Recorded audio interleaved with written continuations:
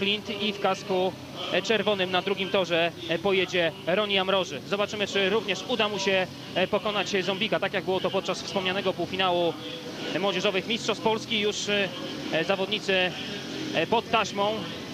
Krótko, są Torunianie w stanie wygrać ten wyścig 5-1? Dobrze by zaczęli. Jest to, jest to naprawdę eksportowa na- para toruńska i jedna z lepszych w Polsce. Stać ich na zwycięstwo w stosunku 5 do 1. Popatrzmy. Miedziński, Amroży, Zombik i Nikolaj Klint. Taśma w górze, pięknie Klint, patrzy na Miedzińskiego, zamknięty Zombik, Jamroży przy krawężniku, Klint szeroko, Miedziński chyba będzie jednak pierwszy, E, spokojnie, udało mu się wyjść e, z tego pierwszego łuku, E, dwójka Wrocławian już się ustawiła na drugiej i trzeciej pozycji, daleko z tyłu. Karol Zombik teraz jakby nabrał przyspieszenie, jakby znalazł tą odpowiednią ścieżkę, ale widać, że mają troszeczkę problemów Torunianie na łukach, przynajmniej Zombik teraz lepiej przejechał ten pierwszy łuk drugiego okrążenia, ale wciąż nie może przebić się na e, trzecią pozycję. Popełnił błąd teraz Nikolaj Klint, atak Zombika i mamy w tej chwili 4 do 2 dla e, pary e, toruńskiej. Na prowadzeniu Adrian Miedziński. Wysoka forma, naprawdę gdzie nie startuje, jeżeli chodzi o turnieje indywidualne, młodzieżowe, kwalifikuje się dalej. Obaj z Zombikiem wystartują w finale młodzieżowych mistrzostw świata.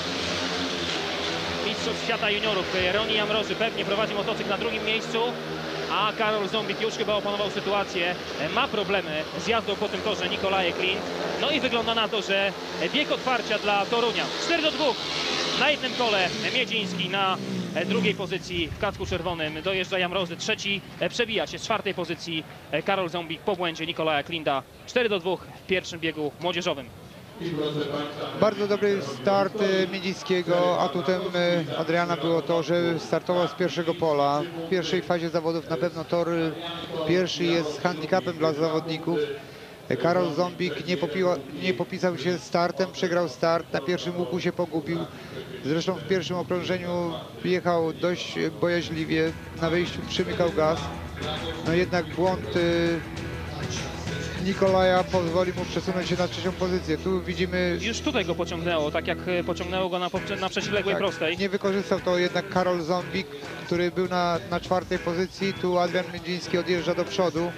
E, Jamroży próbuje nawiązać walkę. Jedzie przy krawężniku, jednak żadnego błędu Miedziński nie popełnił i dowiózł trzy punkty do mety. Tak to wszystko układało się w pierwszym e, wyścigu tego spotkania. Ja tak e, patrzę na program e, z tej drugiej kolejki, jak to wyglądało w pierwszym biegu młodzieżowym w tamtym spotkaniu. Wygrał Zombik przed Jamrożym, Miedziński był trzeci, Klint czwarty, a więc zamienili się miejscami Zombik z Miedzińskim. To jest jeszcze klasyfikacja i przypomnienie wyniku pierwszego wyścigu, a przed nami już wyścig drugi, w którym zobaczymy ze strony gospodarzy w kasku czerwonym Jarosław Kampel, on najbliżej krawężnika. Jego partnerem będzie Tomasz Gapiński w kasku niebieskim, ale wydaje mi się, że jest tu zmiana.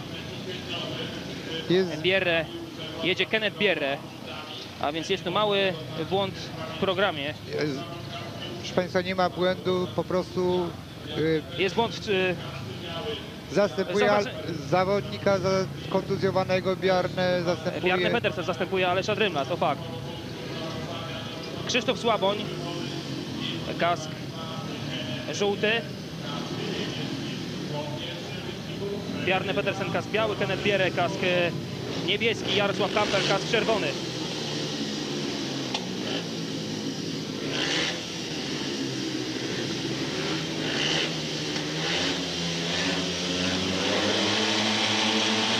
No i zerwana taśma.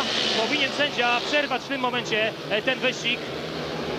Jednak jadą zawodnicy dalej, a jednak nie. Nie wytrzymał Krzysztof Słaboń. E, Zawodnik, który tutaj chciał się na pewno dobrze zaprezentować. Przypomnijmy, przed tym sezonem zmienił barwy. Poszedł właśnie do e, Torunia, bo nie było dla niego miejsca. Postawiono na Tomasza Gapińskiego. No i ostatecznie Przed tym spotkaniem e, pojawiły się takie dywagacje. Czy to był dobry ruch oddać e, Sławonia, który w Toruniu spisuje się naprawdę znakomicie, a ostatnie jego występy i w lidze, i w lidze szwedzkiej, i w lidze polskiej no, wskazywały na to, że tutaj powinien być mocnym punktem tej drużyny i będzie, będzie próbował się odegrać na trenerze i działaczach e, WTS-u.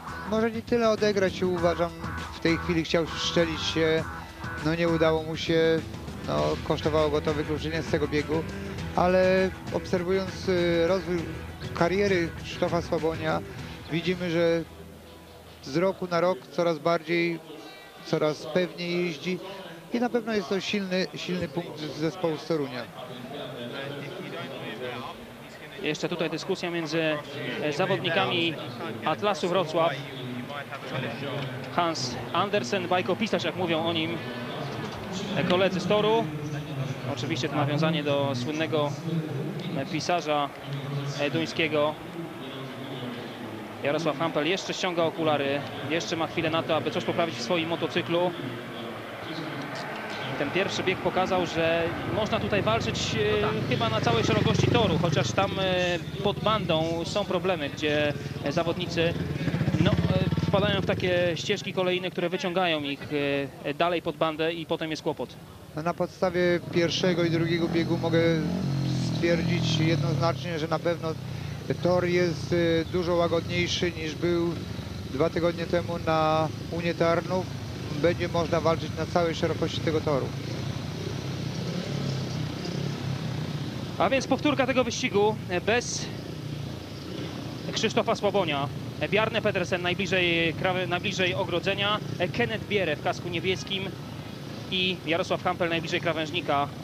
No, mieliśmy tutaj mały błąd w programie, bo był wpisany Tomasz Gapiński, po prostu błąd w czcionce, stąd to małe zamieszanie, ale już wszystko jest w porządku. Krzysztof Słaboń już wędruje pod bandę, obserwować to, co będzie działo się w drugim wyścigu. W trudnej sytuacji, bohater pierwszego spotkania, no i popatrzmy. Kampel, Bierę Bjarne Pedersen. Pedersen wyglądało na to, że wygra start, ale jednak dwójka e, atlasowców na prowadzeniu. E, Pięknie przymknął przy krawężniku e, Kampel swojego rywala, przepuścił do przodu partnera z zespołu Keneta Bierę i w tej chwili jest 5 do 1, ale będą mieli problemy z rozpędzającym się Bjarne Pedersenem. Cały czas pilnuje go Hampel, ale wygląda na to, że jest wolniejszy. Jeszcze teraz udało się zablokować zawodnika Adriany, ale wciąż jest bardzo blisko Hampela. Teraz zszedł do krawężnika. Hampel jednak doskonale przeczytał zamiary swojego e, przeciwnika. Spokojnie na początku e, przed dwójką e, zawodników jedzie Kenneth Bierę, przypomnę, wypuszczony przez Hampela. Hampel przytrzymał pięknie przy krawężniku Andersena. No i teraz Pedersena, przepraszam. Jest wciąż na trzecim miejscu. 5 do 1 prowadzą e, gospodarze, a więc szybka odpowiedź po tym biegu e, młodzieżowym. No i brawa, brawa dla Jarka Hampela. Po pierwsze za to, co zrobił na pierwszym łuku, po drugie za to, że wytrzymał ataki Bjarne Pedersena. W pierwszym okrążeniu tego biegu Bjarne Pedersen startując z czwartego pola próbował po szerokiej, no jednak nie było tam zbyt dużo miejsca. Jarek Hampel można powiedzieć, że widział, czuł zawodnika, którędy jedzie, nie zostawił mu zbyt dużo miejsca między swoim motocyklem a bandą. Dwa razy musiał przymknąć e, manetkę gazu. Bjarne Pedersen po pierwszym okrążeniu już zrobił się dystans między tymi zawodnikami i spokojnie e, Kenneth Bierę na czele, Jarek Hampel za nim dojechali do mety. Tu jeszcze raz widzimy, chciał przy krawężniku, nie było miejsca. Wychodzi na prowadzenie Kenneth Bierę po zewnętrznej. Tutaj Jarek to wszystko pięknie kontrolował, odwracał głowę, widział, gdzie jest jego partner. Ponownie atak, zamknął drogę przy krawężniku. tak, próbuje po szerokiej. Jednak Jarek doskonale czuł, tak jak mówi, mówiłem wcześniej, którędy jedzie Bjarne Pedersen. No nie pozwolił wejść w tą ścieżkę między nim a ogrodzeniem. No i musiał przyjechać na trzeciej pozycji. Tutaj było widać, że jeszcze szukał miejsca do ataku po zewnętrznej, ale przemknął przed jego kołem i zablokował tą drogę. Kenneth Bierę od razu szukał e, szczęścia przy krawężniku, tam był Jarek Hampel. No tu jeszcze raz próbuje po szerokiej.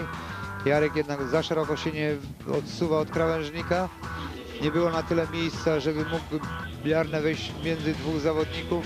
W tej chwili musiał przymknąć gaz, no i skończyło się na trzecim miejscu. 7 do 5 dla Atlasu, dla lidera polskiej Ekstraligi Żużlowej w meczu z Adrianą Toruń. Tak to wygląda po dwóch wyścigach. No ale obydwa wyścigi dostarczyły, myślę, troszeczkę emocji. Możemy się spodziewać tutaj chyba jeszcze lepszych biegów w wykonaniu no, tych żużlowców, których dzisiaj będziemy mieli okazję oglądać. program, ale to jest strasznie e, dużo błędów. Na pewno w kasku czerwonym nie pojedzie Krzysztof Słaboń, tylko Andersen, a tak e, mówi program, który został wydrukowany na te zawody. E, W kasku żółtym pojawi się Bjarne Pedersen, o którym mówił Zenon Play. W kasku niebieskim powinien pojechać Piotrek Świderski, ale oczywiście go nie ma, bo kolejny błąd w programie. I w kasku białym Nils Christian Iversen. On jest e, z numerem czwartym w drużynie Adriany Toruń, a tu mamy Tomka Gapińskiego z numerem 12. On pojedzie w kasku niebieskim.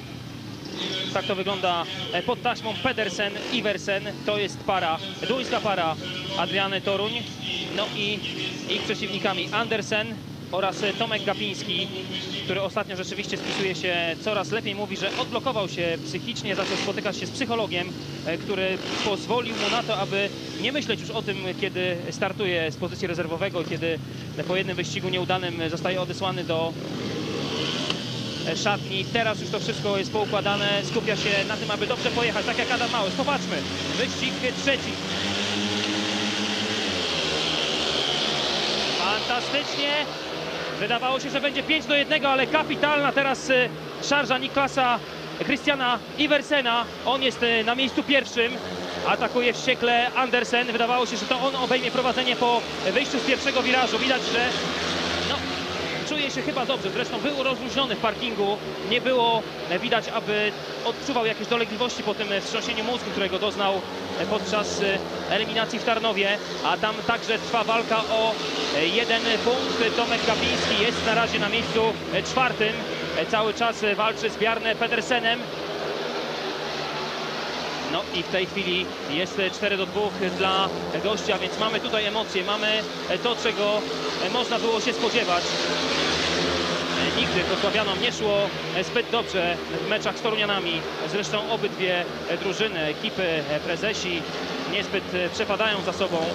Zawsze w tych meczach działo się dużo ciekawego. No i mamy 4 do 2 dla zespołu z Torunia. Wygrywa niespodziewanie, myślę, Niklas Nils Christian Iversen. Na drugim miejscu dojeżdża Andersen. On przewozi dwa punkty dla Wrocławia. Trzeci jest Bjarne Petersen, czwarty Tomek Gapiński. No i pytanie, czy Tomek Gapiński będzie jechał dalej, czy znów spotka go to, co spotykało go w innych meczach i usiądzie na ławkę rezerwowych. To niebawem się okaże. Na pewno Marek Cieślak podejmie słuszną decyzję. A tu jestem pod wrażeniem znakomitego startu Iversena. Pięknie wystartował z trzeciego pola. W pierwszym łuku pojechał troszeczkę szerzej. Hans Andersen nie, nie spodziewał się tego ataku. Na pierwszym łuku już wyrobił sobie dość dużą przewagę i naprawdę jechał dość mądrze. Hans Andersen próbował, ale ataki jego nie mogły przeszkodzić Iversenowi w zwycięstwie tego biegu. Jechał środkiem pola, tam gdzie trzymało. Natomiast troszeczkę odstawał Bjarne Pedersen. Liczyłem, że troszeczkę lepiej pojedzie. Tu został zamknięty do krawężnika. No i wydawało się, że nawet będzie ciężko o trzecie miejsce. Tu jednak e, Tomek Gapiński popełnił błąd.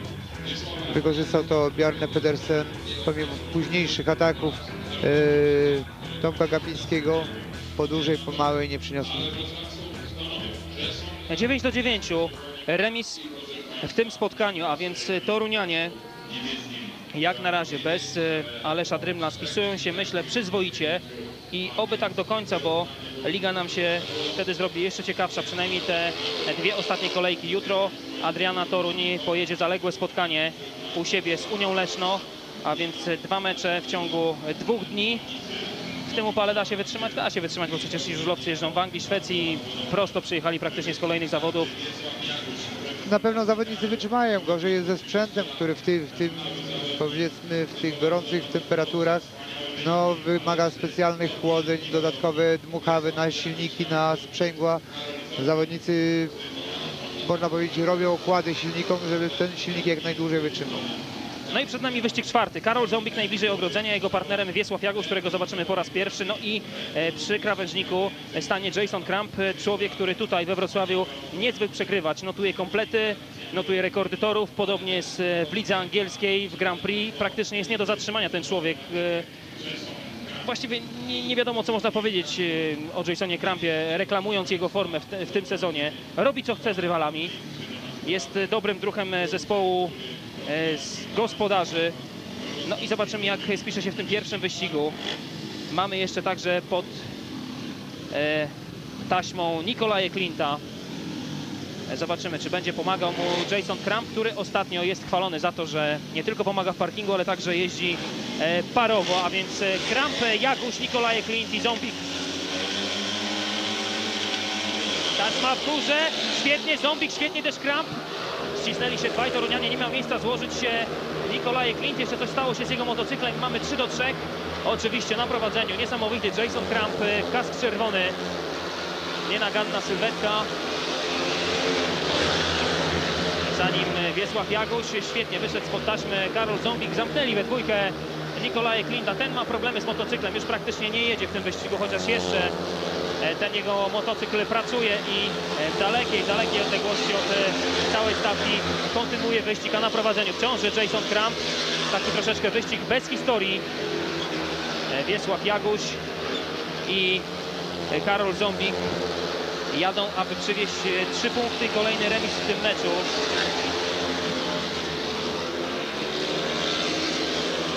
Wciąż Nikolaj Klin kontynuuje wyścig, ale może liczyć tylko i wyłącznie chyba na defekt któregoś z rywali. To się chyba raczej już e, w tym momencie nie stanie.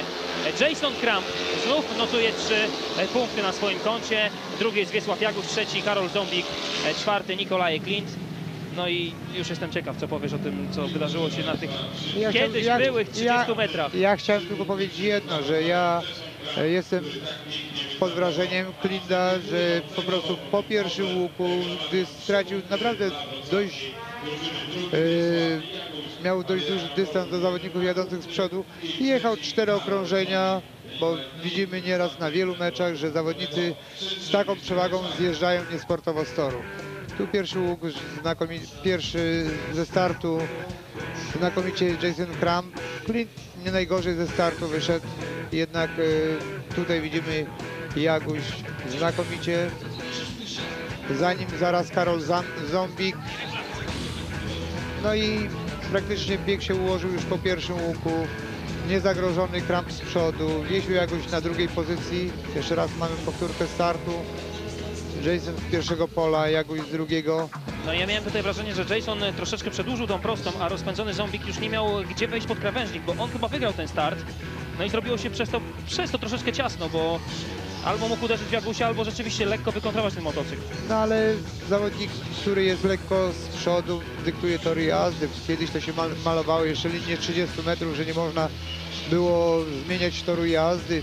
Jeszcze wcześniej mieszka malowało się tory od pierwszego równe, tak jak e, na starcie malowało się do 30 metrów, ale odeszliśmy od tego już. 12 do 12 po czterech wyścigach, odetnijmy przez chwilę równanie toru i reklama. Na to, aby pokazać się w tym spotkaniu. Wyścig e, piąty, przypomnę, wciąż mamy remis e, 12 do 12. Coś się zmieni? No jest to rewanż zabieg y, trzeci. Na pewno Hans Andersen będzie chciał pokazać, że na własnym torze kto tu rządzi, a Iversen no na pewno jest w dobrej formie i będzie chciał udowodnić coś swojego. 68 do 21. To jest meczu, koniec meczu w Rzeszowie. Wynik marny z Tarnowem, ale my skupmy się tutaj, co się dzieje w wyścigu piątym. No i poważmy, Sławonik, gaz żółty teraz wytrzymał, ale został na starcie. Iversen kapitalnie rozepnął dwóch rywali. Teraz ma problemy Gapiński, przewrócił się. Zobaczymy, czy podniesie się z toru, bo Andersen jest na drugiej pozycji. Na razie Gapiński jednak wstaje, jednak zejdzie. No i chyba nie przerwie sędzia tego e, wyścigu na prowadzeniu. Fenomenalny dzisiaj Iversen, kapitalnie wystrzelił spod taśmy. Nie mógł nic zrobić Andersen na trzecim miejscu. Sławoń, który zaspał, no ale potem miał szczęście, bo nie przejechał leżącego już Tomka Gapińskiego. Ładne zachowanie, jeszcze walczy Andersen bardzo blisko swojego rodaka. Iversen środkiem toru pokonał ten e, łuk jakby e, kontrolował to, e, co dzieje się na torze, ale teraz znów szaleńczo atakuje Andersen. E, Zobaczmy, jeszcze jedno okrążenie, teraz podniosło koło Iversenowi. Miał troszeczkę problemów, zbliżył się do niego Andersen. Daleko z tyłu Krzysztof Słaboń, Andersen jeszcze szuka swojej szansy. On w tym sezonie naprawdę zadziwia, bo poprzedni sezon nie był najlepszy, zawodził w drużynie Atlasu Wrocław, a teraz jednak chyba nie da rady. Nie da rady. Iversen pierwszy, Andersen drugi, trzeci dojeżdża Krzysztof Słaboń. Brawa też dla niego, że nie przejechał leżącego już Tomka Gapińskiego. No rewanż znów dla Iversena, znakomity ze startu, można powiedzieć ze startu prawie równo, jednak na dociągu był szybszy, wejście w krawężnik chciałbym to jeszcze raz zobaczyć, co by spowodowało e, postawienie motocykla Gapińskiego. Iversen pierwszy, trzy punkty, Hans Andersen dwa punkty, Krzysztof Słaboń jeden, 4 do 2 i Torunianie obejmują prowadzenie w tym meczu 16 do 14. No i mamy powtórkę tego, co działo się w pierwszym łuku. No Iversen znakomicie ze startu Tomkowi Gapińskiemu zahaczył nogą, prawdopodobnie o krawężnik, postawiło motocykl i to było przyczyną upadku. Jeszcze raz ze startu. Kask biały Iversen, popatrzmy, próbował na niego zakładać się Andersen, ale nie zdążył. Postawiło motocykl Tomkowi Gapińskiemu. Czyli co, techniczny błąd. Uważam techniczny błąd. Jeszcze raz będziemy z tej kamery widzieli. Tak, zahaczył nogą, lewą nogą, postawiło nogę, pociągnęło, postawiło motocykl, upadek, z, można powiedzieć z własnej winy. Słuszna decyzja sędziego. No a Iversen odjechał na pierwszym łuku, znakomicie atakował go przez cztery okrą- okrążenia Hans Andersen. Jednak mądra, taktyczna jazda Iversena nie pozwoliła na to, żeby e, znakomity Duńczyk go wyprzedził. 14 Atlas Wrocław, 16 Adriana Toruń. Na razie układa się to tak, jak e, zapowiadaliśmy. No i na pewno chcielibyśmy, aby tutaj ten mecz zakończył się i rozstrzygnął dopiero w biegu 15, tak jak było to w drugiej kolejce w Toruniu. Jedno jest pewne, zero punktów na, na koncie Tomka Gapińskiego, a więc ten jego spokój został gdzieś e, zmącony. To, o czym mówiłem, że zaczął korzystać e, z porad i wizyt u psychologa, aby odblokować się. Kiedy startował z pozycji rezerwowego, bo oczywiście dzisiaj był w pierwszym składzie, to jest zupełnie inaczej. Zresztą o tym mówią wszyscy żużlowcy, którzy e, właśnie startują z pozycji rezerwowego, że może być tak, że wystąpią w bardzo trudnym biegu, ten bieg im się nie uda i znowu nie dostają szansy do końca meczu. Pozycja rezerwowego nigdy nie należała i nie należy do łatwych z tego względu, że trener decyduje w którym momencie desygnować go do walki. Czasami się zdarza, że bieg po biegu może jechać, czasami się zdarza, że pod koniec zawodów, gdy po prostu zawodnicy, którzy startują e, po kolei w zawodach, to cały czas czują, widzą jak się tor odsypuje, jak się zachowuje. Zawodnik rezerwowy nigdy do końca nie wie jak, jak to będzie.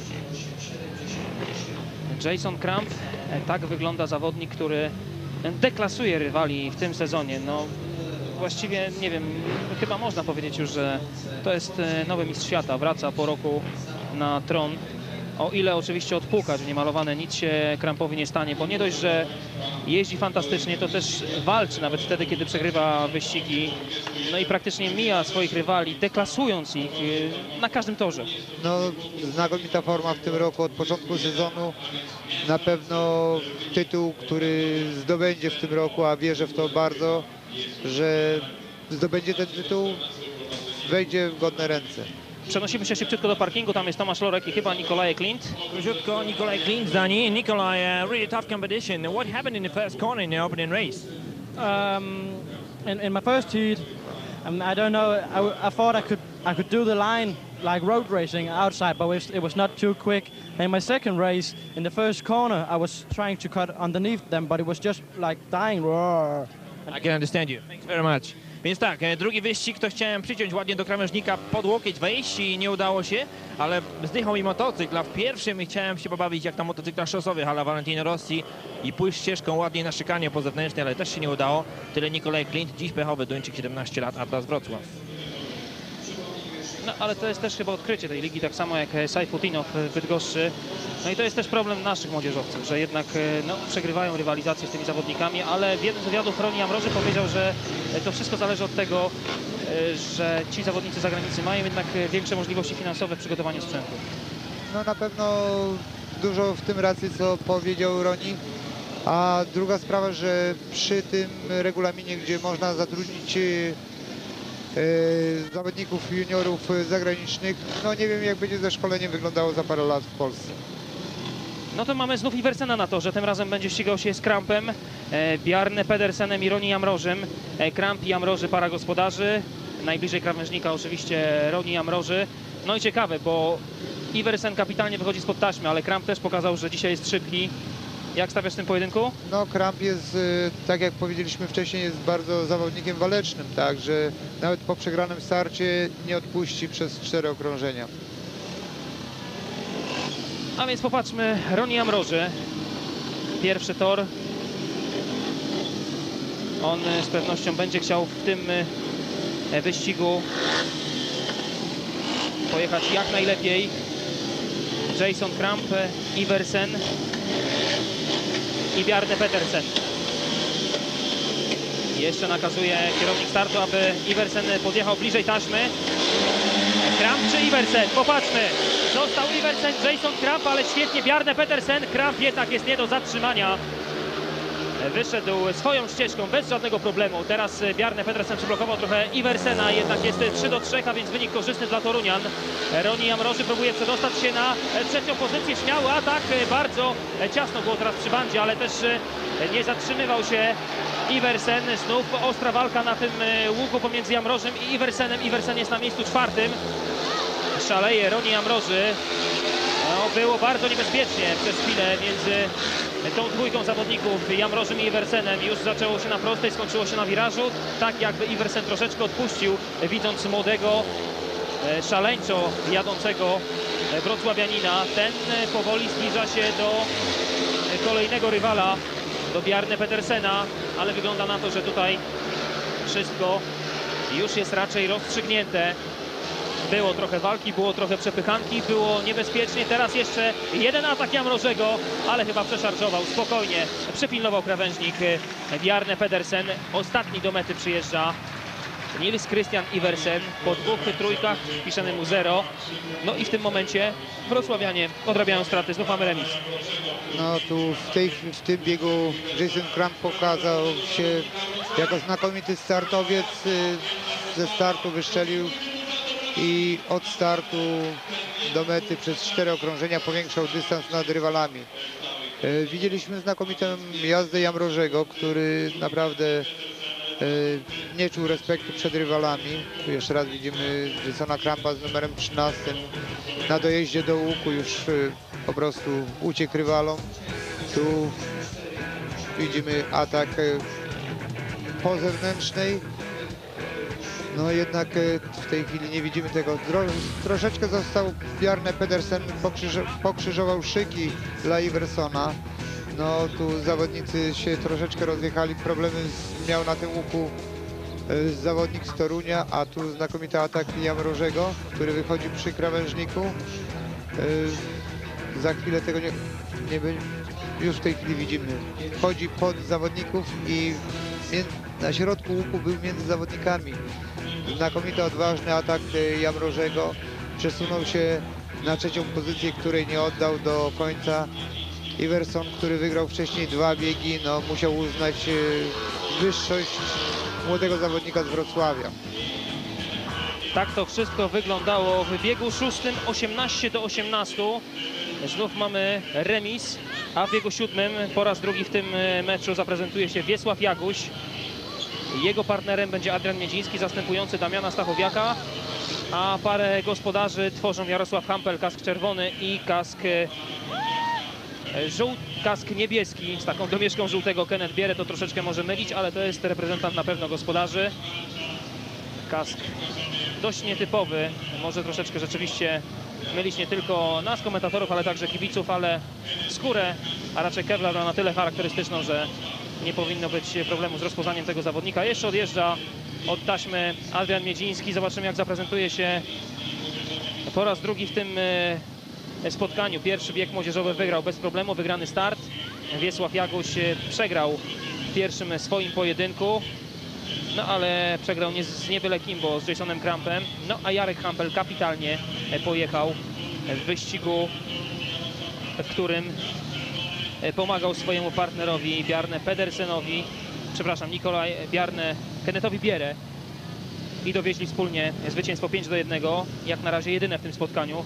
Zobaczymy jak ta para spisze się na tle Jagusia i Miedzińskiego. Jakby nie patrzeć eksportowej pary Torunian. No, młodość i rutyna, można powiedzieć. Wiesiu jakoś zawodnik y, bardzo waleczny. Od lat czołowy zawodnik zespołu z Torunia. Na pewno łatwo się nie podda w tym biegu. No i Adrian Miedziński, który też ma znakomity sezon. Tak, wygrywa praktycznie wszystko, jest w finale Mistrzostw Świata Juniorów. No a Jaguś walczy o pozycję w drużynie narodowej na Puchar Świata. Tam jest Jarek Kampel. Popatrzmy, kto będzie lepszy z tej dwójki. Jednak Jarek Kampel szybszy na dojeździe do łuku. Świetnie Kenneth Bierę. Znów ta para prowadzi 5 do 1. No i z tyłu dwójka Torunian, Miedziński, Jaguś. Kapitalnie też dysponowany jest e, partner Jarka Kampela. Świetnie wyszedł spod taśmy. Znów e, w tym biegu pilnuje tego, co dzieje się w tym wyścigu. Jarek Kampel. Dobiera mu się do skóry Adrian Miedziński. Jest bardzo blisko Jarka. Musi Jarek uważać na młodszego z dwójki Torunian. Świetnie Miedziak radzi sobie w Anglii, o czym mówił już e, zresztą Tomek Lorek. Nieco teraz rozczarowuje w tym wyścigu Jaguś na prowadzeniu. Cały czas y, niezagrożony. Kenneth Bierę. A teraz problem miał z motocyklem. Miedziński podbiło mu koło na wejściu w i ostatecznie uderzył w ogrodzenie, ale wygląda na to, że nic mu się nie stało. Jeszcze walczy Wiesław Jaguś, zbliża się do Jarka Hampela, ale ten y, utrzymuje drugą pozycję. I po raz drugi para Hampel, Kenneth Bierę dowozi podwójne zwycięstwo. Nie wiem, czy to nie będzie kluczowy wyścig i kluczowa para tego meczu. Hampel Bierę. No jadą znakomicie, wychodzą ze startu, a jak się wygra start, na pewno się dużo łatwiej jedzie. Tutaj para e, z Torunia przegrała zdecydowanie start. Na trasie widzieliśmy przez y, trzy okrążenia walczył Adrian Mie- Miedziński, był bardzo blisko Jarka. Błąd na wejściu, przymknięcie gazu no, spowodowało jego upadek. No Wiesiu jakoś za daleko był przez trzy okrążenia, żeby mógł zagrozić Jarkowi na ostatnim okrążeniu. Jeszcze raz moment startu. Jarek Hampel na pierwszym planie, teraz jest widoczny Jaguś zamknięty przy krawężniku. No i znakomicie dojeżdża po zewnętrznej Kenneth Bierę. E, Jarek Campbell tu przy krawężniku wypuszcza motocykl z wyjścia. Dojeżdża do Kenneta Bierę 5-1. Jeszcze, tak jak mówiłem, przez trzy okrążenia próbował walczyć Adrian Miedziński po szerokiej przy krawężniku. No jednak doświadczenie Jarka, znajomość tego toru znakomita, no nie pozwoliła, że, żeby zawodnik Torunia mu zagroził. Tu właśnie przed sekundą widzieliśmy błąd Adriana, który no po prostu leciutko przymknął gaz, pociągnęło, no i już skończyło się to upadkiem. W tej chwili podbiło koło, no i usiadł na tyłek, nadmuchane bandy, nic się nie stało, wstał, schodzi do parkingu. No widzimy, że wszystko jest pod Iwersena w poprzednim e, wyścigu. Na razie niezagrożony Jason Kramp, którym knie wygląda na to na po kolejny komplet e, w polskiej ekstraklasie. No, zdecydowanie przewodzi u nas, przewodzi w Anglii, jeżeli chodzi o średnią biegopunktową. Już wielka odległość pomiędzy Krampem i Słaboniem. Jagoś spokojnie pilnuje tej trzeciej pozycji, ogląda się teraz gdzie jest Jamroży, ale Jamroży nie może zbliżyć się do swojego e, starszego e, kolegi z zespołu Adriany e, Toruń, Jason Kramp. Popatrzmy jak jeździ, moim zdaniem już pewny mistrz świata, zanim wpada na metę Krzysztof Sławoń, piszemy dwa punkty, jeden punkt Jaguś, no i bez punktu tym razem Jamroży. Mamy 3 do 3 i te 4 punkty przewagi gospodarze zachowują za sprawą cieszącego się Jasona Krampa. Znakomity start, krampa, dopasowanie motocykla do toru, no i tą przewagę, z którą wygrywa, to rzeczywiście pokazuje, jak, jakim mocnym zawodnikiem jest e, Jason Kramp. W pierwszym łuku po starcie trochę zagroził mu e, Krzysiu Słaboń, bo też nie najgorszy start po zewnętrznej. Gdyby było troszeczkę bardziej przyczepnie, na pewno zbliżyłby się do, do Krampa, jednak Kramp, to co wcześniej powiedziałem, znakomicie spasowany, znakomity zawodnik, to co mówiłem, na pewno w tym roku zdobędzie tytuł mistrza świata. i jedzie znakomicie. Zna ten tor, zna wszystkich zawodników, bo jeździł w Toruniu, zna się znakomicie z Jagusiem, wie na co Jagusia stać, zna Słabonia, no bo też startował ze Słaboniem. No co można powiedzieć, zawodnik pełny. Jeszcze oglądamy powtórki tego biegu ósmego. 26 do 22 utrzymuje się przewaga 4 punktów. No i wygląda na to, że teraz e, będziemy oglądać pojedynek e, Iversena i Keneta Bierę. Kenneth Bierę e, bliżej krawężnika Iversen między nim a Jarosławem Hampelem, który będzie partnerował znów Kennetowi Bierę. No i powinien pojawić się jeszcze Bjarne Petersen, a więc znów trzech Duńczyków i jeden Polak. Tak wyglądają rozgrywki Ekstraligi w tym sezonie. Po, po tym jak zostały otworzone e, bramy i furtka do tego, aby wszyscy mogli startować w polskiej Ekstralidze żużlowej. Ci, którzy postawili na obcokrajowców są chyba w tej lepszej sytuacji, bo wyniki tych drużyn są znacznie lepsze, choćby od e, przykładu bydgoskiej Polonii, która została tylko z jednym Andrasem Jonsonem. No i ma problemy, aby utrzymać się w tej e, czwórce, która będzie walczyła o medale. No ale popatrzmy na ten e, wyścig dziewiąty. Kenneth Bierę, Iversen, Jarosław Hampel, Jarne Pedersen.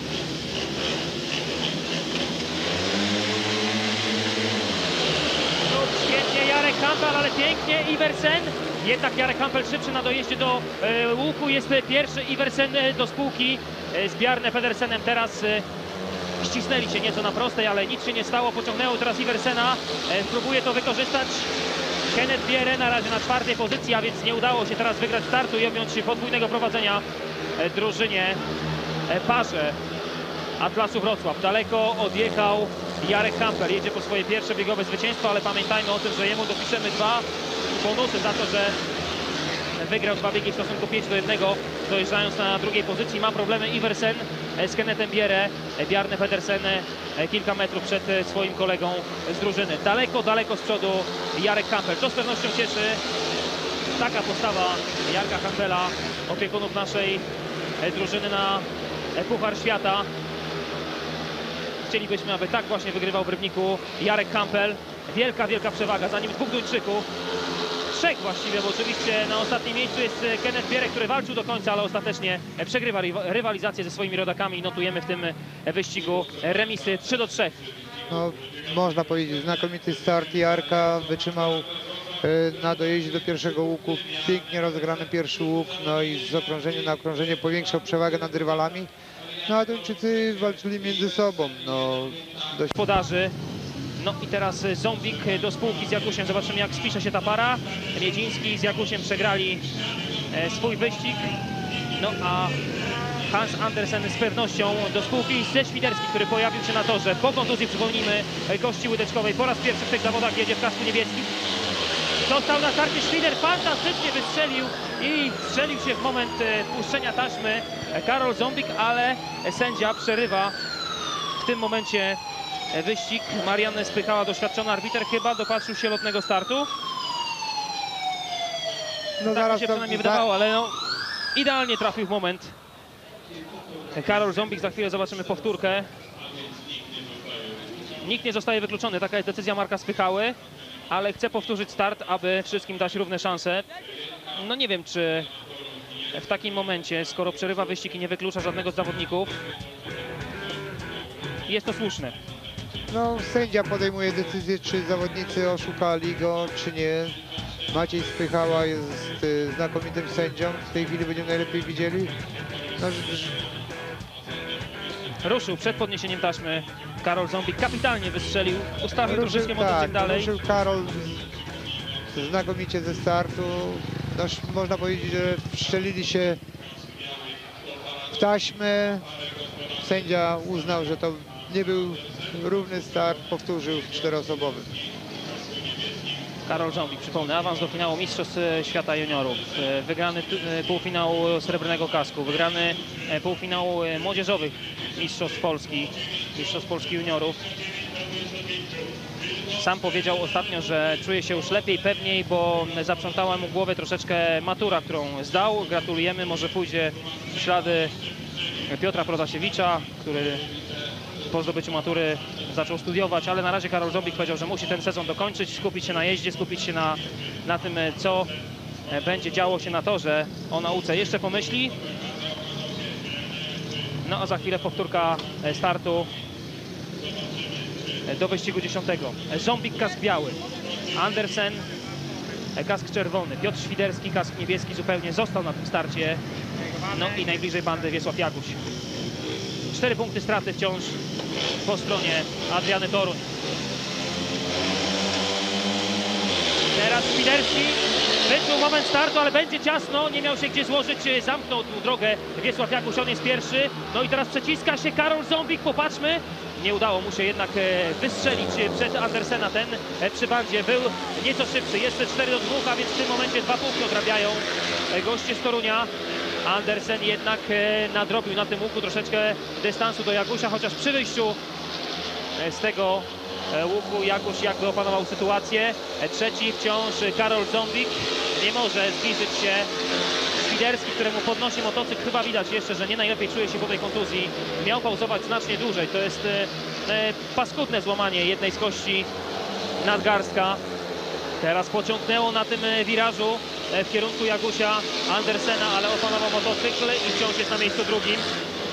Jaguś ciasno wchodzi w krawężnik e, przy wejściu łuk, a potem szeroko szuka przyczepności. To jak na razie sprawdza egzamin. Zdaje egzamin oczywiście. Jest Jaguś pierwszy i wygląda na to, że dowiedzie w tym meczu po raz pierwszy trzy punkty. Zanim walczący do końca Andersen wy, wygląda na to, że już zupełnie wszystko w porządku po tym urazie, którego nabawił się w Tarnowie. Na szczęście wcześniej udało mu się awansować do, tej, do tego finału kwalifikacji o przyszłoroczne Grand Prix. Wiesław Jaguś, e, jemu piszemy trzy punkty. Wreszcie wyszedł do startu tak, że zamknął wszystkich. Na linii 30 metrów Hans Andersen drugi, Karol Zombik e, trzeci, brawa za ten jeden punkt. Piotr Świderski miał problem na starcie, ale o tym za chwilę Zenon Plech. No w tym biegu, proszę Państwa, jeszcze raz widzimy start, znakomity start y, Jagusia po zewnętrznej. Y, Objechał można rywali, zamknął tu w tej chwili do krawężnika. Jedzie pierwszy łuk przy krawężniku, tu zawodnicy Hans Andersen pojechał za szeroko. Dopiero w tej chwili na- nabiera prędkości, wykorzystał to Karol Zombie, który przesunął się na trzecią pozycję. Zabrakło troszeczkę, żeby y, nie dojechał do bandy, wtedy Hans Andersen musiałby jeszcze przymknąć manetkę gazu i spadłby na trzecią pozycję.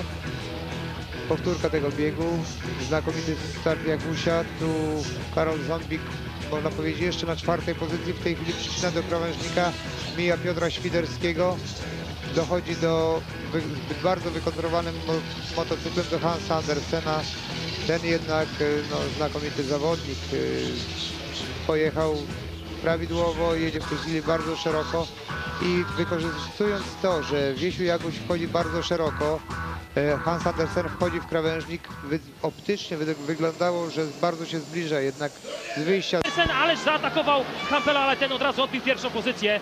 Wydawało się, że wypchnie Jarka z, całą, z całym impetem pod bandę, że obejmie prowadzenie, ale Jarek od, odparł ten atak. E, Świetnie zachował się nasz reprezentant na drużynowy Puchar Świata. E, Dwójka Duńczyków na drugiej i trzeciej pozycji. Nie liczy się znów Roni Jamroży.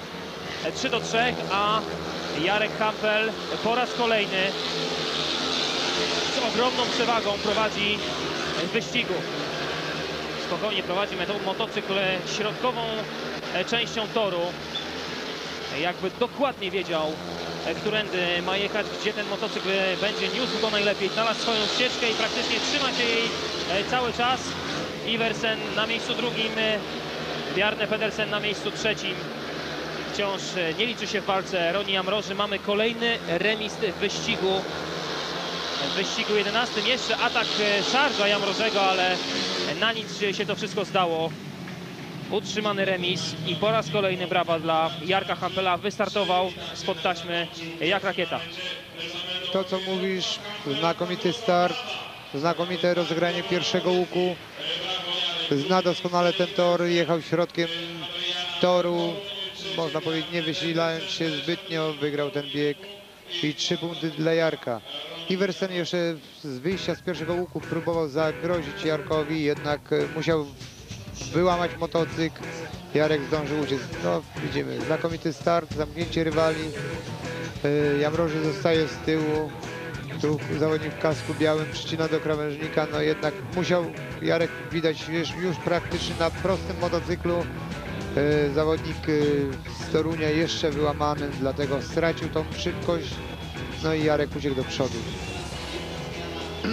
Jeszcze raz kamera ustawiona na wprost startu pokazała nam jak Jarek umiejętnie zamknął wszystkich przekrawężników. Tu jest ta szarża Iversena. No i tu jeszcze wyłamanym motocyklem Jarek nabiera szybkości po zewnętrznej. Podniesiona, skowana noga. Dla Wypada mistrzom Polski w ten sposób e, przegrywacz meczów. Przypomnijmy, jechali bez obcokrajowców. No ale znakomici zawodnicy, tacy jak Tomasz Golob, e, Janusz Kołodziej, no powinni nawiązać walkę. No nie wiem, nie wiemy co się stało. Źle się dzieje w państwie tarnowskim. Gapiński, Miedziński, Andersen. No i popatrzmy, ale ciasno było teraz e, w wyjściu z tego. No i mamy znów przerwany wyścig. Leży Andersen. Nie było miejsca na to, aby się złożył. Bardzo odważnie wystartował Krzysztof Sławoń. Cała trójka jeszcze jedzie, ale już widzą sygnalizacyjne światło przerywające wyścig. No w pewnym momencie aż e, zabrakło mi głosu, bo obawiałem się, że będzie tutaj wypadek i to e, kilku zawodników. Ostatecznie skończyło się tylko na wywrotce Andersena, który nie zmieścił się między trzema rywalami. Powtórka w czteroosobowym składzie, taka jest decyzja e, sędziego. Popatrzmy jeszcze raz. No znakomity start zawodnika z pola czwartego. No tu było bardzo ciasno. Hans Andersen nieszczęśliwie był na, na trzecim. Jeszcze raz widzimy znakomity start Słabonia. Nie było miejsca dla Hansa Andersena. Zahaczył o koło i skończyło się upadkiem. No ale ciekawie działo się też dalej na wyjściu z łuku. Cały czas ta trójka blisko siebie. No bo pozostali, można powiedzieć, wduszeni, wdusz, wduszeni w krawężnik. Aż poszły iskry e, z motocykla Hansa Andersena. No podejrzewam, że spadł łańcuch i to z łańcucha poszły iskry. Pychany teraz Andersen przez Miedzińskiego. Jednak przedarł się na pierwszą pozycję, ale zrobiło się teraz niebezpiecznie. No fantastycznie i odważnie zrobił to Krzysztof Słaboń. Jedzie bez e, praktycznie żadnych e, zahamowań w tym wyścigu. Była mała luka, nie bał się odkręcić manetki, wjechać między Andersena i Miedzińskiego. Teraz Andersen rewanżuje się Miedzińskiemu za akcję e, z poprzedniego okrążenia, ale do Słabonia ma już sporą stratę. No dzieje się dużo w tym wyścigu. 4 do 2 e, prowadzą Torunianie, a to oznacza, że będą po tym wyścigu 11 remisować, dobiera się do skóry Miedzińskiego, Gapiński, ale podniosło mu motocykl na prostej stracił troszeczkę rytm jazdy. Wciąż jednak bardzo blisko, a Andersen zabiera się za skórę e, Słaboniowi. Słaboń szeroko, Andersen przy krawężniku nabiera prędkości, no i teraz odbija pierwszą pozycję, zamknięty e, przy bandzie e, Słaboń. Teraz on schodzi do krawężnika, podniesione koło, jeszcze próbuje nadrabiać, ale chyba nic e, z tego. Stracił pierwszą pozycję, a Hans Andersen ku uciesze kibiców wrocławskich po kapitalnej walce, po tym co działo się na pierwszym okrążeniu, ostatecznie wygrywa wyścig, no i głowa go na pewno nie boli, ale boli głowa chyba i kolegów w parkingu, no i wszystkich kibiców po tym, co zobaczyli w tym wyścigu. Można powiedzieć najpiękniejszy bieg dzisiejszych zawodów. Znakomity start pary e, z Torunia. Wydawało się po pierwszym okrążeniu, że 5-1 jest e, praktycznie podane na tacy.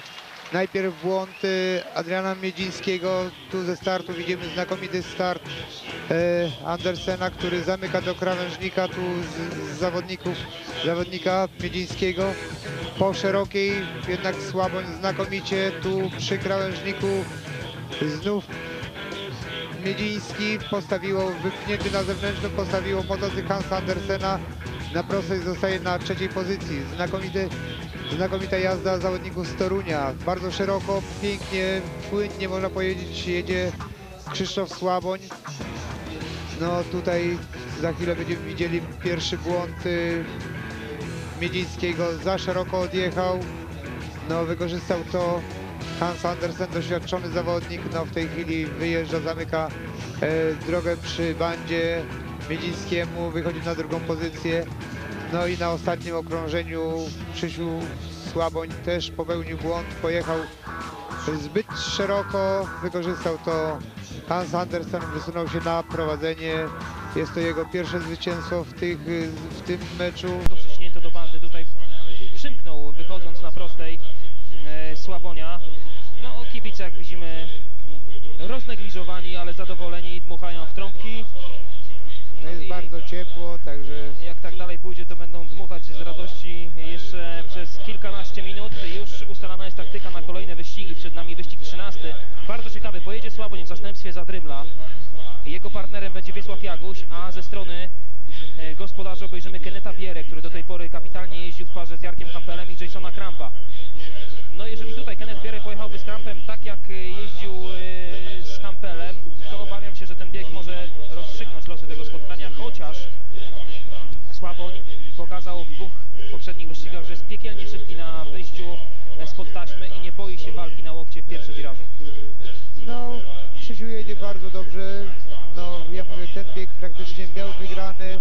Błąd na ostatnim okrążeniu i wykorzystał to Hans Andersen. Na pewno nie jest bez szans, gdy w tej chwili przeanalizuje swoją jazdę, wyciągnie wnioski z tej jazdy, nie popełni tego błędu po dobrym starcie, może ten bieg wygrać. Przypomnijmy, Słaboń awansował po raz pierwszy w karierze do finału e, Mistrzostw Polski, indywidualnych Mistrzostw Polski. W meczu Ligi Szwedzkiej zdobył 15 punktów i bonus dla Rospigarny w meczu z Luxo Stars. A więc e, mamy potwierdzenie tego, że naprawdę coraz lepiej spisuje się e, zawodnik, e, który jeszcze w poprzednim sezonie, przypomnijmy, startował tutaj na tym torze w barwach e, Atlasu Wrocław. No Krzysiu rozwija się. Ja bynajmniej pamiętam jeszcze słabsze jego występy w Polonii Bydgoszcz. Następnie przyszedł do Wrocławia. W tym klubie stworzono mu szansę, na pewno poszedł w górę. Nie było miejsca na sezon 2006 dla niego. Poszedł do Torunia i naprawdę spisuje się dobrze. W jednym z wywiadów przypomniał, że ogólnie jest zadowolony z tego, co do tej pory osiągnął w tym sezonie, ale ostatnio miał sporo kłopotów e, z silnikami. Przez te problemy odpad, opad, odpadło mu kilka e, meczy, no ale w tym spotkaniu na razie może być, myślę, zadowolony z tego, co prezentuje, chociaż e, ta pierwsza wpadka, kiedy dotknął taśmy, może spowodować, że tych kilka oczek e, zabraknie tutaj Torunianom do tego, aby nie stracić punktu bonusowego, bo przypomnijmy, gdyby Adriana przegrała e, 44 do 46, to żadna z tych drużyn nie zdobywa punktu bonusowego. No a ten punkt bonusowy bardzo by się przydał po takim meczu, po tak zaciętym spotkaniu, po tak równym e, pojedynku e, Torunianom. Praktycznie Atlas tytuł ma zapewniony. Ten punkt bonusowy jest bardzo blisko, ale tak to co No i powiedziałeś zwycięstwo, i zwycięstwo. i to co powiedziałeś, dwa punkty przybliża ten zespół do tytułu mistrza Polski. No i wydaje się, że to jest pewny kandydat do tego tytułu. No to popatrzmy na wyścig 13. Oby dla nikogo nie był on pechowy. Krzysztof Słaboń najbliżej e, krawężnika. Wiesław Jaguś na torze trzecim. E, Po jego lewej stronie Kenneth Bierę, a po prawej e, Jason Kramp, niezwykle szybki spod taśmy. Teraz coś jeszcze pokazuje sędziemu właśnie. Jason Kramp odjechał od taśmy Krzysztof Słaboń. On wygrywał starty jadąc z czwartego pola. Jeżeli tak wyjdzie z pierwszego pola, to może wszystkich e, wywieźć szeroko i mieć praktycznie sprawę załatwioną, ale musi też pamiętać o tym, że gdzieś tam między tą dwójką będzie Wiesław Jaguś. Mogli się umówić, ja wywożę resztę Tyścina do krawężnika. Mogli się tak umówić, ja wywożę resztę Tyścina do krawężnika. Mogli się tak umówić, bo najczęściej tak się dzieje, że się zawodnik wywozi, a następny przycina. Taśma w górze, Kramp jednak najszybszy, ale słabo chciał się przebić.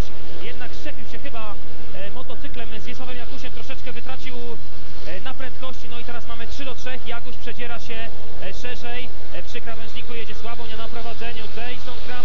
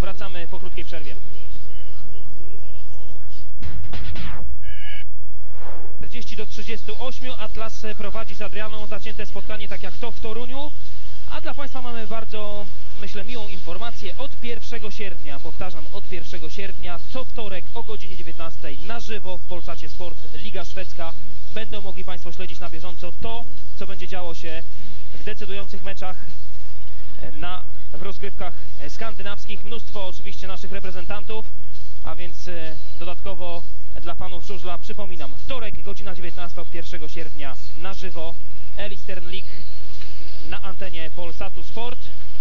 Myślę, że będzie co pooglądać. Na pewno jest to ciekawa liga, dużo Polaków, dużo Anglików, Amerykanie, także Wszyscy Polacy podkreślają, że Liga Szwedzka jest e, też bardzo wymagającą ligą, e, ze specyficznymi torami, może nie tak specyficznymi jak e, Liga Angielska, ale też wymagającymi odpowiedniego przygotowania sprzętu i też często widzimy w tych wszystkich sprawozdaniach, że tutaj nasi żużlowcy spisali się znakomicie, a na przykład w Lidze Polskiej już zawiedli, cały czas tłumaczą to tym, że to są jednak inne motocykle, inne tory. Teraz będziemy mogli przekonać się na własne oczy, jak to wygląda. no, Liga Szwedzka jeździ we wtorek, także to nie koliduje z meczami kolejki polskiej ligi, e, ekstraligi, pierwszej ligi, czy nawet drugiej ligi, bo zawodnicy z różnych lig startują w lidze szwedzkiej i naprawdę jest to taka odskocznia, tylko uważam, że na pewno motocykle przygotowane na ligę szwedzką zupełnie inna charakterystyka, ligę, y, polskie tory to na pewno tory y, wszystkim znane, że są tory długie, że praktycznie jak się wkręci na starcie, to manetkę się zamyka na mecie. Na pewno potrzebne są motocykle o dużej mocy, no i po prostu częste remonty są po, li, po lidze polskiej. Przenosimy się do parkingu i biegi nominowane. Krzysztof Gołędziuk. Panie sędzio, skład Atlasu ma nominowany. W 14 biegu w czerwonym Andersen. Tak. Gapiński. 12 dokładnie. Bieg 15 w czerwonym Kramp. Tak, Kramp 13. I Hampel 9 dokładnie. Dziękuję. Mamy więc obsadę ze strony gospodarzy teraz Torunianie. Panie sędzio, w żółtym Petersen, tak, i w białym Słaboń. W 14 biegu oczywiście. I w 15 Iversen w żółtym i Jaguś w białym. Dziękuję. No to wszystko wiemy. Tak wygląda obsada biegów nominowanych. Pedersen, Słaboń, Andersen, Gapiński, Kramp, Iversen, Hampel, Jaguś. Od razu spoglądam na to, jak wyglądało to w tym pierwszym spotkaniu. No i mamy ze strony e, gości, ze strony gospodarzy, Krampa i Hampela. Oni także pojechali w biegu 15, ale tam Kramp pojechał także w biegu 14 jako zmiana taktyczna i on e, do spółki z Andersenem e, doprowadził do zwycięstwa 5 do 1 nad Jakusiem i Wersenem i w tym momencie z 42 do 36 z wyniku, który wydawał się bezpieczny przed biegami nominowanymi, po 14 zrobiło się 43 do 41 no i w tym momencie o wszystkim decydował bieg 15. Teraz ta sytuacja wygląda nieco inaczej, bo takiej dużej przewagi gospodarze nie mają, jak mieli Torunianie w tym pierwszym meczu, prowadzą tylko dwoma punktami. No i stało się tak jak chcieliśmy, wszystko rozstrzyga się w ostatnim... Czasami, czasami trenerzy popełniają błąd, że w biegu 13 po, doprowadzają do przewagi sześciopunktowej i wtedy zespół może skorzystać w biegu 14 z rezerwy taktycznej i najczęściej najlepsi zawodnicy startują w tych biegach i to się stało właśnie w Toruniu, że Kramp wskoczył jako rezerwa taktyczna w 14 biegu, wygrali 5-1, no i zanosiło się, że dwa biegi po 5-1 dają, dadzą im zwycięstwo. No, zwycięstwo biarne Pedersena w biegu 15 pozwoliło wygrać dla zespołu z Torunia dwoma punktami. Tak, ale to o tym mówiliśmy, pokazywaliśmy przed tym spotkaniem, jak to wszystko się rozegrało. Gdyby nie błąd y, Karola Zombika, bieg nie byłby powtórzony i prawdopodobnie Kramp dowiózłby to zwycięstwo i tym samym zapewnił y, dwa meczowe punkty drużynie Atlasu, który wówczas występował jako y, gość. My cały czas czekamy na to, co wydarzy się w biegu 14. I ja tam widzę, że Tomasz Lorek e, gania po parkingu, szuka kogoś e, do wywiadu, aby troszeczkę urozmaicić ten czas w oczekiwaniu. No i jest Roni Jamroży, jest też nasz e, szalony reporter Tomasz Lorek. Oddajmy wam głos. No, dzisiaj lata i to zupełnie pięknie, w jednym wyścigu szczególnie, bo po trasie strzeliłeś rywali. Eee, co się dzieje, że lubisz takie tory do walki, bo dzisiaj wrocławski tor, szczególnie ta ścieżka tu przy kredzie jest bardzo szybka. Em, No, było dobrze w tym biegu, ale szkoda, że, że w następnym przywiozłem 2-0 i e, nie wiem, chyba coś się stało z silnikiem, a poza tym nie mogłem dzisiaj wystartować, bo sprzęgło mi pociąga od jakiegoś czasu, znaczy od dwóch, trzech meczów mam problemy ze sprzęgłem. E, wczoraj w Krośnie miałem już wszystko dobrze, dzisiaj znowu coś się popsuło i, i ciężko było wystartować, a walczyć lubię, jak, jak jest y, dobry motorek, to, to można powalczyć. A wczoraj w Krośnie półfinał kasku srebrnego i Paweł Chlip za plecami. Fajnie motywują takie wygrane, jak się ma 15 punktów na końcu? No na pewno, fa fajne uczucie po zawodach, e, kiedy się wygrywa jeszcze z kompletem. E, no tak jak mówię, wczoraj wszystko pasowało, Wilki wyły w Krośnie czy nie? były, były. Dziurawo czy w miarę czysto? Strasznie dziurawo, chyba na, naj, najbardziej dziurawy tor w tym roku, na którym jeździłem, więc e, ciężko było, ale Mięśnie zbulone. Tak, po, po, po zawodach troszkę zmęczony, ale ogólnie okej. Dzięki. Dzięki. Wracamy na tor, zobaczymy na jakich motorkach wyjechali e, koledzy Jamrożego, Andersen i Gapiński. No, Gapiński jest dla mnie, pewną niespodzianką. e, Zero punktów do tej pory zdobytych, niezbyt dobrze układało się dla niego to spotkanie. Dlaczego nie wystawił Keneta Bierę? No bo 2-0, a na Uważam- początku dwie trójki. na początku dwie trójki, ale to co wspomniałeś przy Pomocy Jarka pomocy Jarka. W tej chwili zawodnicy są ważne dwa punkty dla zespołu i dlatego może zdecydował się na Gapińskiego. Andersen pojedzie z pierwszego toru. Kapitalnie powalczył w tym e, wyścigu, który ty nazwałeś najlepszym z tych, które do tej pory oglądaliśmy. No i jeżeli wygra start, to wiezie trzy punkty, będzie dwa punkty przewagi w ostatnim e, wyścigu, a tam jest Kramp. On nie przegra chyba, ale popatrzmy. Andersen, Petersen, Gapiński, Sławoń. Sławoń poszedł na łokcie z Gapińskim, znów było ciasno, leży Gapiński. No, Jestem ciekaw, jaką podejmie decyzję teraz y, arbiter tego meczu. Przepychali się, nie odpuścił ani Tomek Gapiński, ani Krzysiek Słaboń. To oni przepychali się na łokcie ewidentnie. Jadą w czterech, taka jest decyzja arbitra Marka Macieja Spychały. Na pewno było bardzo ciasno na pierwszym łuku, bo proszę, proszę zobaczyć, dobry, dobry dociąg do łuku Słabonia. W tej chwili no, nie było miejsca dla Gapińskiego. No Nie bardzo, bardzo podobna bardzo, sytuacja bardzo, do bardzo tej z ciasno. Andersenem. Tak, bardzo ciasno było, nie miał zawodnik najmniejszych szans, no i skończyło się upadkiem. Gapiński schodzi do parkingu, już czeka na niego Jarek Hampel. Gdybyśmy mogli przenieść się na chwilę właśnie na ten obrazek, gdzie tam Jarek Hampel dyskutuje e, z Jasonem Crampem. No, są nerwy. E, są nerwy, jeżeli chodzi o te dwa ostatnie wyścigi. Wprawdzie ogromna przewaga w lidze, to o czym mówiliśmy zespołu e, z Wrocławia, ale gdyby dzisiaj wygrali, skasowali bonus, naprawdę no nie byłoby chyba po co rozgrywać playoffów, bo uważam, że gdyby był, gdyby był inny regulamin, powtórzmy jeszcze raz e, start, aby mógł obejrzeć e, sędzia tych zawodów to, co wydarzyło się w pierwszym łuku. Jest już z nami pan Spychała. Na razie spokojnie obserwuje to, co działo się na linii 30 metrów, kiedyś tej linii 30 metrów, której już dawno nie ma. Nie ma wątpliwości, słuszną decyzję e, podjął, ale chciał się upewnić. Niemal e, kopia sytuacji e, tej, którą mieliśmy e, z Andersenem. Powtórka w czteroosobowym składzie, no i jeszcze większe emocje. Zobaczymy, kto wytrzyma napięcie w tym 14 wyścigu. Na razie wracamy do parkingu, tam cały czas Marek Cieślak niespokojnie krąży gdzieś przy bramie, a już jest razem ze swoim zawodnikiem. Na pewno zadowolony z faktu tego, że nie bał się, poszedł do końca, że nie odpuścił. No na pewno zadowolony jest, że sędzia podjął taką decyzję, że powtórka jest z czterech, że została jeszcze jedna szansa, bo naprawdę gdyby podjął sędzia decyzję, że wykluczył z tego biegu Garpińskiego, To wszystko w rękach Andersena. to wszystko w rękach Andersena. No, Ciekawe, Za- czy napisałby kolejną bajkę, czy też e, musiałby uznać wyższość e, rywali. Słabo naprawdę imponuje tym wyjściem spod taśmy. Nie boi się ataków e, z zewnętrznego pola. Ma dobry, ma dobry dociąg do, do łuku, znakomicie nie boi się rywali, zamyka rywali. No i to jest właśnie bardzo emocjonujące. No i tak pytanie, jak patrzysz na Tomka Gapińskiego, to widzisz u niego taki ludzik, o którym mówił z Ligi Szwedzkiej?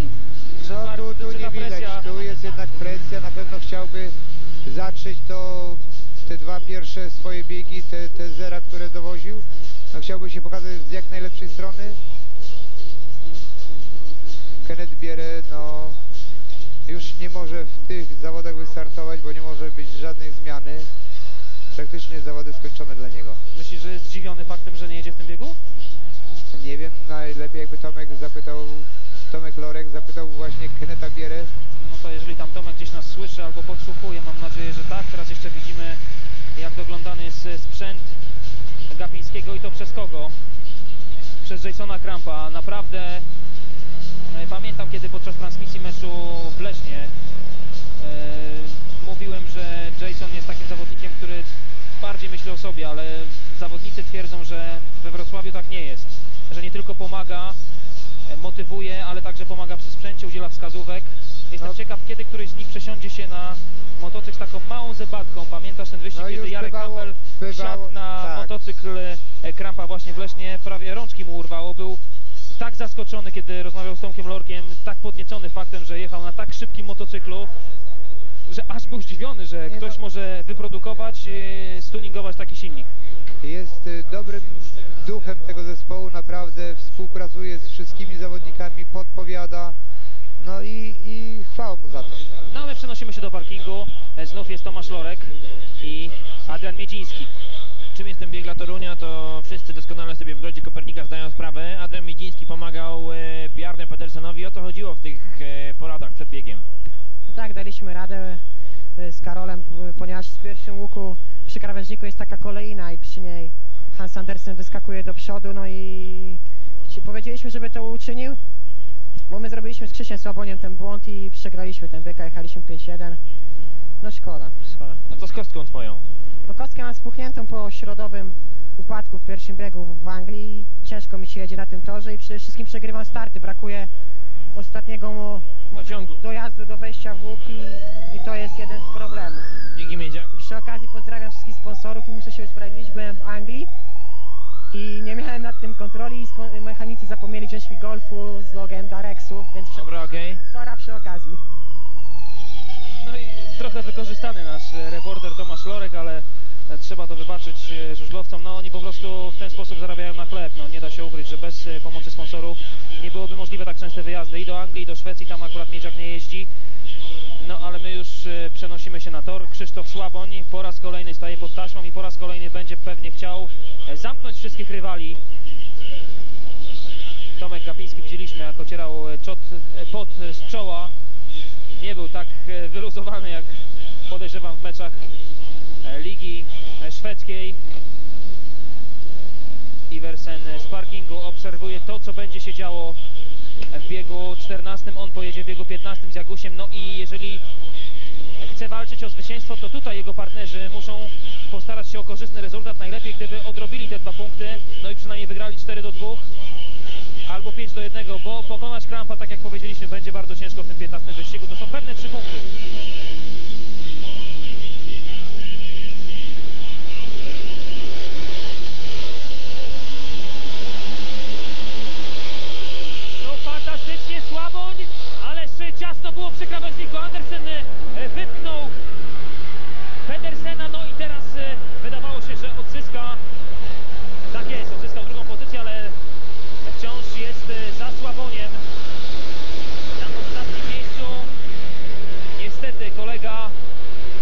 Słabonia, Pedersen, a Andersen do spółki z Gapińskim. Teraz Gapiński ma problemy, no i mija go najprawdopodobniej Andersen. Pięknie minął go e, po zewnętrznej, od razu zamknął go przy krawężniku. Ma problemy z motocyklem e, Gapiński. No i w tym momencie e, Pedersen do spółki ze Słaboniem. Jadą na 4 do 2, a to oznacza remis w tym meczu. Zobaczymy, czy Słaboń wytrzyma, czy nie popełni błędu. Na razie Andersen próbował szeroko, teraz ścina do krawężnika, rozpędza swój motocykl. Jeszcze zdąży go zamknąć. E, Słaboń wypchnięty pod bandę, no i zobaczymy, kto będzie szybszy przy wyjściu z tego łuku. Jeszcze raz e, Słaboń odbija pierwszą pozycję, ale teraz zamienili się miejscami.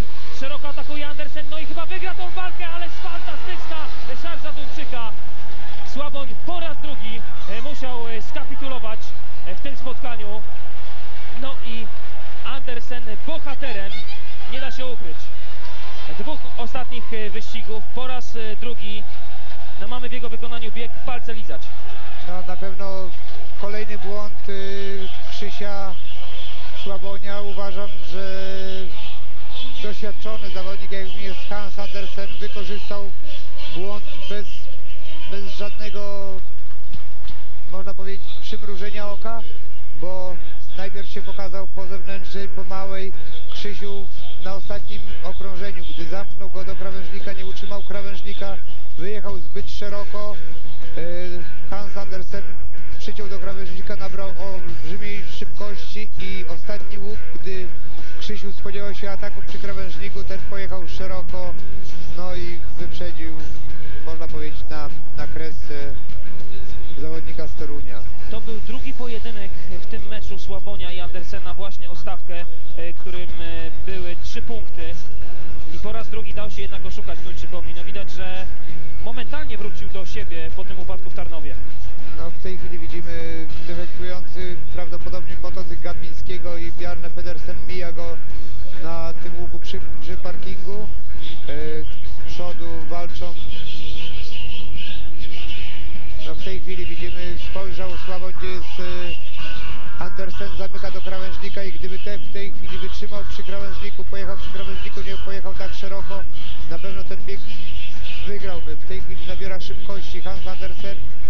Y, wychodzi tu na prostą, tu nabiera szybkości i w tej chwili Słaboń myśli, że będzie atakowany przy krawężniku, natomiast Hans Andersen spokojnie po szerokiej objeżdża e, Słabonia i wychodzi na pierwsze miejsce. No i znów z 4 do 2 zrobiło się 3 do 3.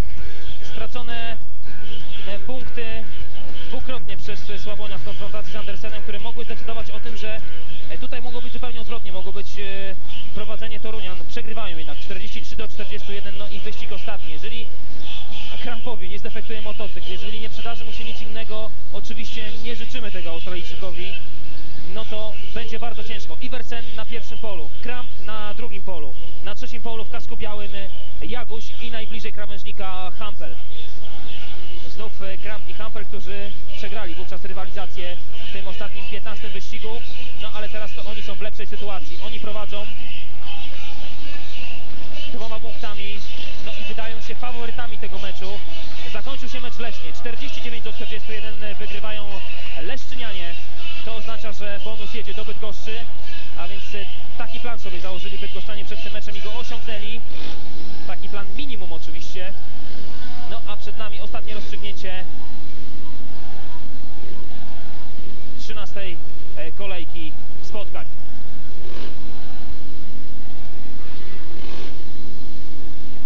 Jeszcze wszyscy pieczołowicie przygotowują się do tego ostatniego wyścigu, do tego ostatniego wyjścia spod taśmy. Jarek Kampel wspólnie z Jagusiem bardzo blisko siebie. No i ciekawe, jak postąpi Marek, jak postąpi opiekun naszej kadry. No teraz aż Jason Kram przewrócił ten stojak e, podtrzymujący taśmę, ale już wszystko jest w porządku. Iversen, Kramp, Jaguś, Hampel. Tak wygląda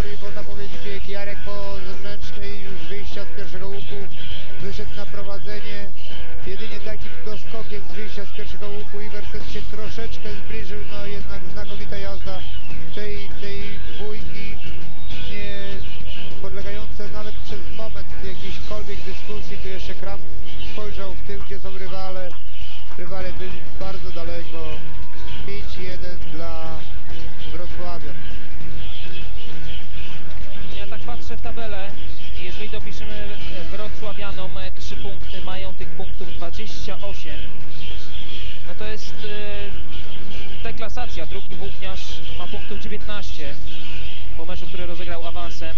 Unia, Ternu, Unia Tarnów zostaje z 16 punktami. Nie ma, nie ma najmniejszych szans. Wrocław, można już dzisiaj śmiało powiedzieć, drużynowy mistrz Polski na rok 2006. Przenosimy się do parkingu. Tomasz Lorek już nie może doczekać się rozmowy e, z kolejnym e, żużlowcem, Bjarne Pedersenem. No i pytanie, czy była szansa tutaj na lepszy występ Bjarne? No więc właśnie, czy była szansa, mówi Marcin Feddek, na to, żeby ugryźć ten e, zespół na wrocławskim torze? Was there any chance uh, tonight? Was a really close meeting between uh, you and, and Radcliffe? Was a really good chance if you had been a slightly better rider tonight? Yeah, I mean, uh, uh, all uh, all in the team uh, was really doing a good job tonight. You know, I feel we was pushing them right to the end. So uh, it's just shame we we're losing by four or five on the last two away meeting. I feel you know the team is there, but we just have miss miss. Something's lacking. Yeah, we we just really miss out with a couple of points every time. E, Zespół świetnie się bawi, świetnie jedzie, każdy zdaje z siebie absolutnego maksa, natomiast brakuje nam tych 4, 5, 6 punktów takiego kropki nad i, czegoś malutkiego naprawdę, żeby przypieczętować zwycięstwo. Dzisiaj można było jechać, gdyby miał był ciut lepszy, ale nie udało się, ale 23 lipca, 23rd of July, it's Stanley Carson Farewell meeting in England. Are you going to be there and what kind of remembrances do you have when Tony Rickardson's going to say goodbye? Yeah, I'll, I'll be there, and uh, yeah, for sure. You know, Tony has been a great rider. You know, and uh, when I first went to England with with Poole, you know, he was there, and uh, I have been watching a lot of lot of year, and you know, he's the guy that have learned me around Eastbourne. So you know, I've, I've liked to be in his farewell meeting. No więc cóż, 23 lipca Wimborne Road, 16.00 Pool na pięknym hrabstwie Dorset na południu Anglii. Tam Tony Rickardson żegna się z angielską publicznością. E, jakie ma wspomnienia? No, jak pierwszy raz przyjechał do Anglii Bjarne Pedersen jeździł w Pool, to pod, po, podglądał, upatrywał wszystko, co robi Rickardson. To jest jego wielki idol, wielki mistrz. No i to jest dla niego zaszczyt pojechać w turnieju pożegnalnym Tony Rickardsona, ale to nie jedyny turniej pożegnalny Rickiego. Jeszcze będzie pożegnanie w Tarnowie. Tyle Bjarni Pedersen. To jest e, zestaw e, następnej kolejki. Polonia Bydgoszcz, Atlas Wrocław, e, Włókniarz Częstochowa, Marma Rzeszów, Unia Tarnów, Unia Leszno, Adriana Toruń, RKM Rybnik. No i tak się zastanawiam, jak to będzie wszystko wyglądało, bo wygląda na to, tak jak powiedziałeś, że to walka będzie toczyła się tylko i wyłącznie o srebrny medal. No nic, y, to co mówiliśmy, chyba że rzeczywiście Atlas postawi na młodzież w ostatnim spotkaniu, ale nie sądzę, bo, bo będą chcieli przypieczętować tytuł. Będzie ciekawy mecz y, w Bydgoszczy.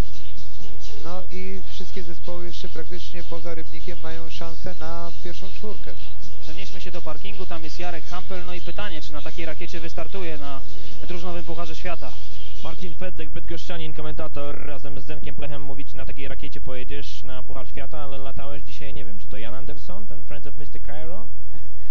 Tak naprawdę to tak, to faktycznie. E, motocykl był bardzo dobry, ja dzisiaj też jechałem w sumie dobrze. E, pasowało mi wszystko, tak naprawdę było bez różnicy, z którego pola startuję. Wszystko układało się praktycznie bez e, większych obaw, be, bez większych problemów i stąd ten mój dobry wynik. Cieszę się niezmiernie zwycięstwa, ponieważ e, mecz był naprawdę bardzo, bardzo ciężki. No, gdyby parę decyzji było w inną stronę, to mogłoby różnie być, bo anioły jadą fajnie.